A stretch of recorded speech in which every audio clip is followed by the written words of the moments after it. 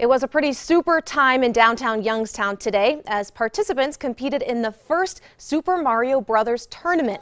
Now that was hosted by Youngstown Computer Show and the public was welcome to enter to play original Nintendo consoles.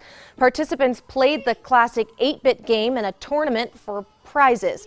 First News spoke to the organizer who wants this to only be just the beginning.